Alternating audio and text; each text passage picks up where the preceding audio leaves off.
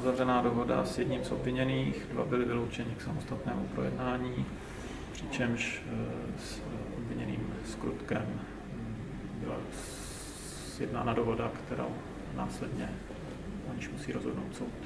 Mm-hmm. Předpokládám, že ji schválí.